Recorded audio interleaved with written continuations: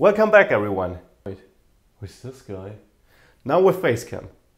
Because I think I can even better explain what I want to explain and talk to you guys when you're actually able to see me. And well, it's more fun for me and hopefully more education to you.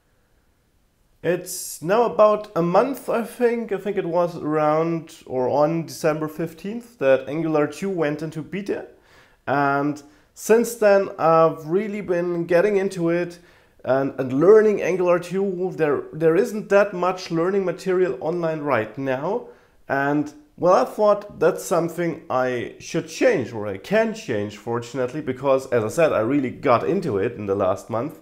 So this is a small series here on this channel where I will try to get you into Angular 2 and get you ready to develop Angular 2 applications as it is in beta right now. There is no reason to hold back application development because there probably won't be that many major changes going on.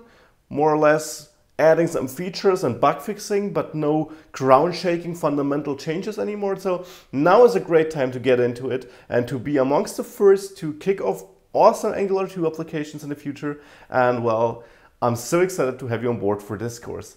See you in the videos.